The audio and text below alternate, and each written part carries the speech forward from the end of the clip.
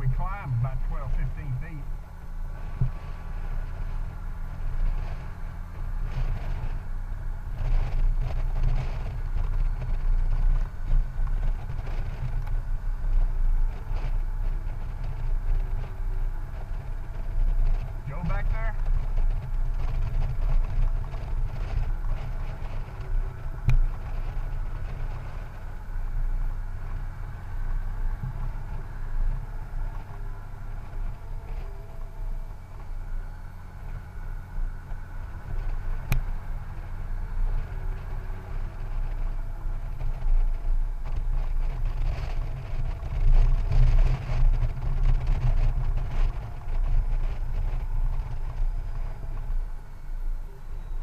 Gravel on the inside edge there.